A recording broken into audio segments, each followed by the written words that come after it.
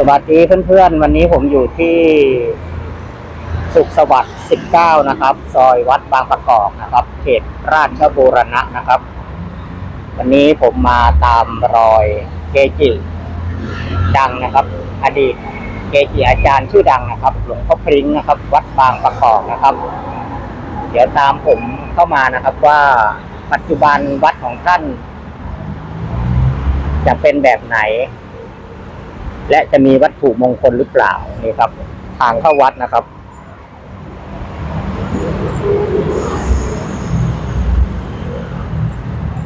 จากปากซอยก็ลึกเหมือนกันนะครับเพื่อนๆ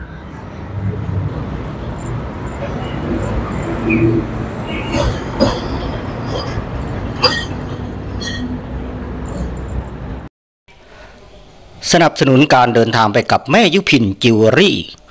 เครื่องประดับเงินแท้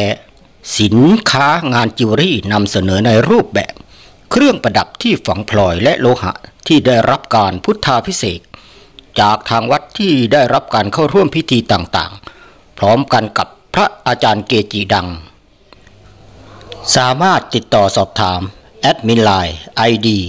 064 906 0212 เครื่องประดับที่ได้รับการพุทธาพิเศษเสริมพุทธคุณแด่ผู้สวมใส่ สินค้าฟรีออเดอร์ สิ่งดีๆสำหรับคุณ เพื่อตนเองและคนที่คุณรัก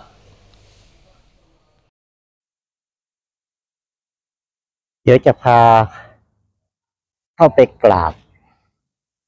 รูปเหมือนท่านนะครับ นี่ครับศาลา อินทะโชตานุสรณ์นะครับศาลาหลวงปู่พริงนะครับ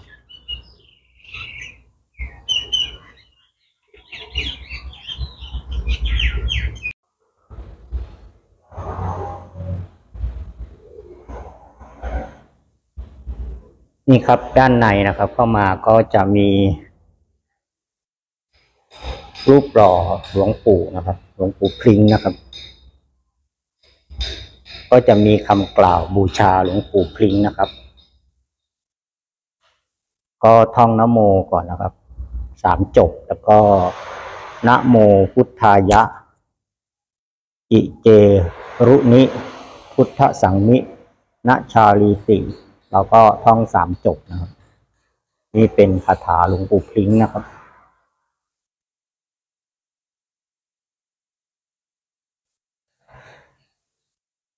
ก็จะเป็นรูปหล่อของท่านนะครับด้านหลังก็จะเป็นภาพครับภาพเก่าๆ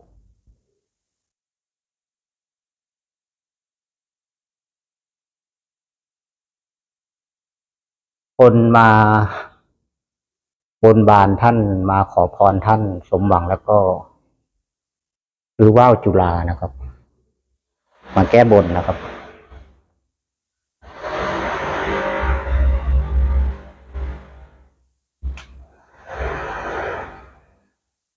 นี่ก็จะเป็นเหรียญนะครับ เหรียญของท่าน ซึ่งปัจจุบันก็น่าจะหายากนะครับ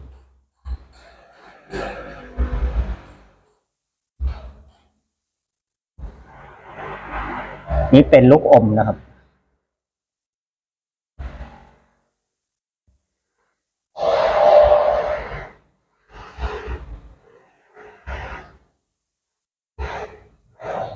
เป็นเหรียญรุ่นต่างๆ ที่ปัจจุบันหายากและก็ราคาสูงนะครับ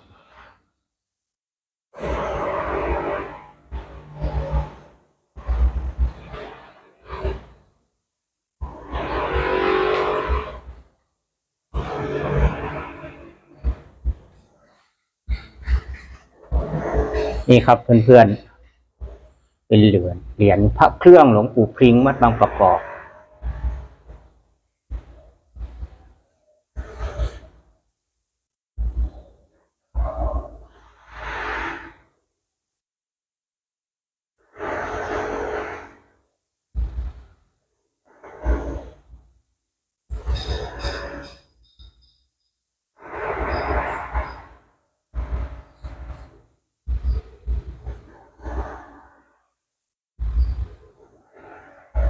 ภระปิดตาก็มีนะพระปิดตาไม้แกะ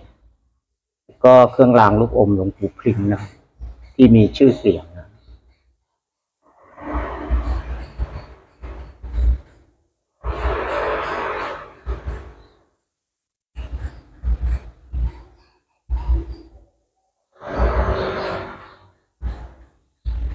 นี่ก็จะเป็นเหรียญนะครับ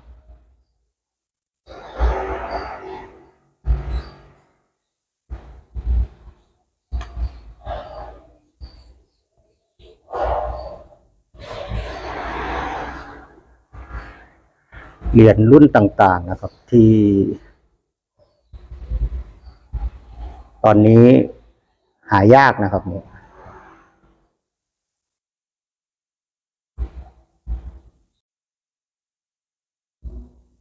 หลวงปู่พริงนะครับ ท่านก็เป็นอดีตเจ้าวาดวัดบางประกอบตำบลบางประกอบอำเภอราชบุรณะ จังหวัดนครหลวงกรุงธนบุรีนะครับ เดิมท่านก็ชื่อพริ้งเอี่ยมทศบิดาชื่อเอี่ยมมารดาชื่อสุน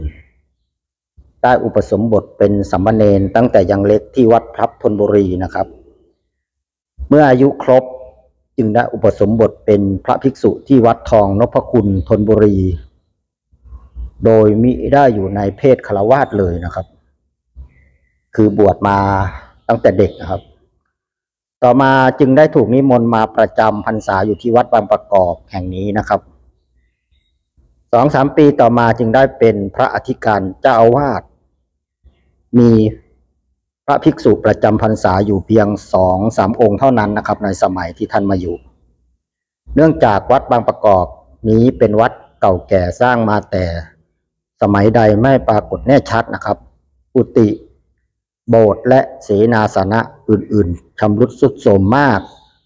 สันนิษฐานจากการปฏิสังขรณ์พระอุโบสถมาครั้งหนึ่งนะครับ เมื่อพุทธศักราช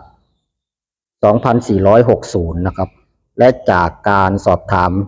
ท่านผู้มีอายุหลายต่อหลายท่าน ซึ่งอายุก็ใกล้ร้อยปีนะครับ และท่านเหล่านั้นบางท่านก็ได้ถึงแก่กรรมไปหมดแล้ว ถ้ายังมีชีวิตอยู่ก็ น่าจะร้อยกว่าปีนะครับ ท่านบอกว่าท่านเกิดมาเป็นเด็กๆ ก็เห็นวัดบางประกอบนี้อยู่แล้วนะครับ ก็ถือว่าเป็นวัดเก่าแก่นะครับ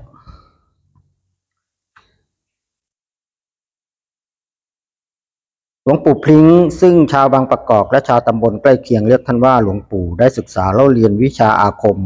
จนแก่กล้ามาตั้งแต่เป็นสัมมเนนที่อยู่วัดพับนะครับ แล้วท่านก็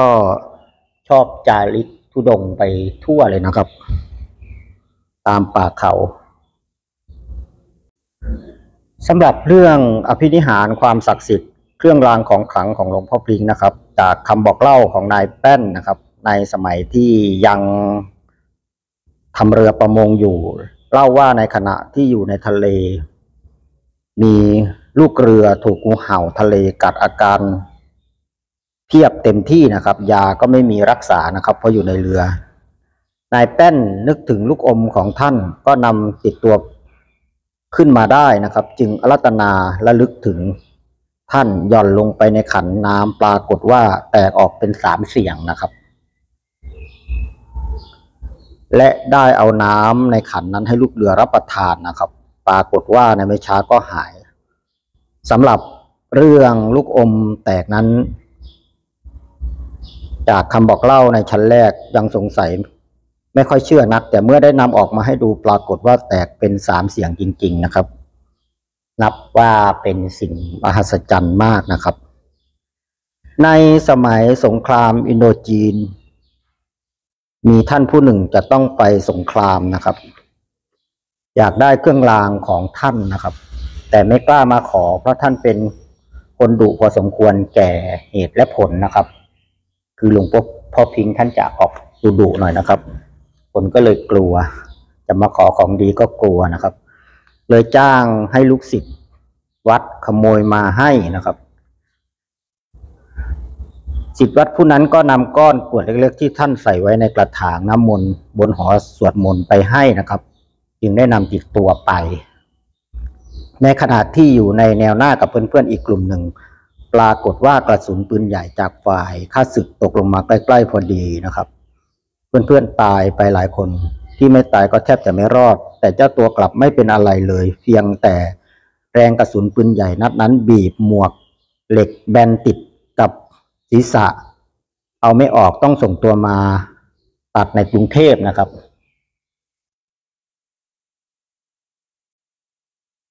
สำหรับอภินิหารเกี่ยวกับเครื่องรางของขัง ของท่านเรื่องลือไปไกลในยุคนั้นนะครับ นอกเหนือไปจากชาวจังหวัดพระนครธนบุรี ชาวจังหวัดอื่นๆ ก็เป็นลูกศิษย์ลูกหาของท่านมากมายนะครับ แม้ในบรรดาผู้ใหญ่ชั้นราชาคณะหลายท่าน ก็เคารพนับถือท่านมากนะครับแม้แต่กรมหลวงชุมพรนะครับ ก็เป็นลูกศิษย์ท่านนะครับ ท่านผู้มีอายุหลายท่านเล่าว่าสมเด็จพระสังฆราชแพรนะครับ วัดสุทัศน์ เทพวรารามนะครับ ซึ่งรักใคร่ชอบพอกันมากนะครับ เมื่อมาหาท่านก็จะมากราบหลวงพ่อก่อนทุกครั้ง และไม่ว่าจะไปเจริญพุทธมนต์หรือฉันพัฒหารที่ใดโดย มีพระชั้นเจ้าคุณไปร่วมด้วยนะครับ เมื่อทราบว่ามีท่านเจ้าวาดวัดบางประกอบจะไปด้วย จะต้องเว้นที่นั่งเหนือไว้ให้ท่านแทบทุก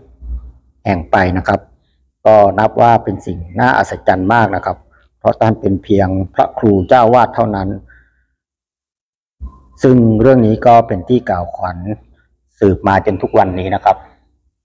นี่ก็คือบารมีของหลวงปู่พิงค์วัดบางประกอบนะครับ เพื่อนๆมีโอกาสก็เข้ามากราบท่านได้นะครับ ในปัจจุบันนะครับ เพื่อนๆวัตถุมงคล ในตู้ไม่มีนะเพื่อนๆางวัดคงไม่ได้จัดสร้างนะครับ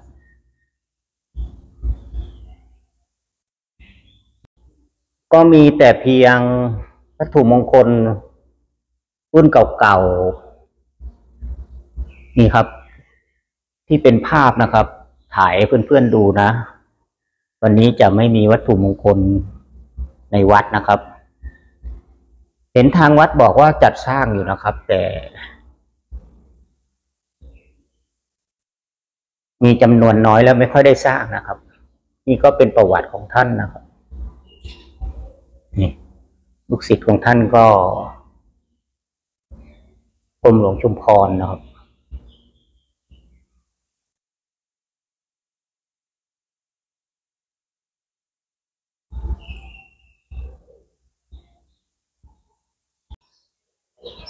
นี่ก็เป็นบริเวณวัด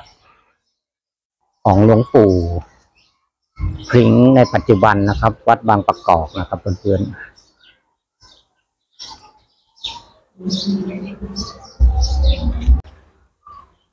สำหรับวันนี้ก็